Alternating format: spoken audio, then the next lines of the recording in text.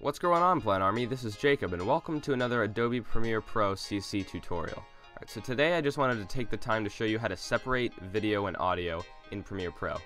So what I mean by this is say you have gameplay footage, so this is our Left 4 Dead 2 footage, and there's the video, and then there's the actual sound of the file. And say you want to separate these for whatever reason. It might be that you want to mute the audio, but you don't want it still taking up part of the audio track because that can clutter your work area, so you would want to delete it. But you can't just delete the audio because that would delete the video too. Or say you just want to keep the audio and you want to get rid of the video, or you just want to move around the audio. So to do that, you have to click on it, right click, and hit unlink. So that just unlinks the video and audio, and now you can move them freely, delete them freely, and you can just move them around.